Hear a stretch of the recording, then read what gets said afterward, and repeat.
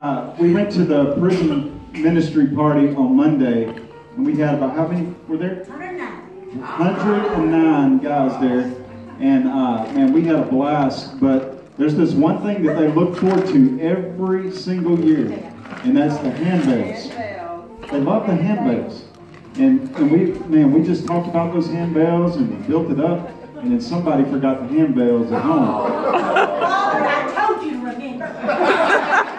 And then, and then she lied in front of God and everybody and told everybody it was Robert. Give it up for Miss Annette tonight.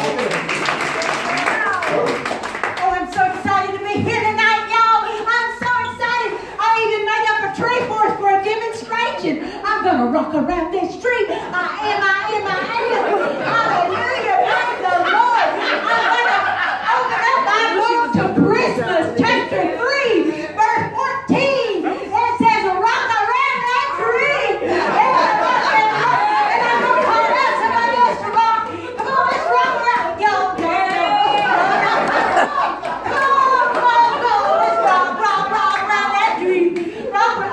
ver para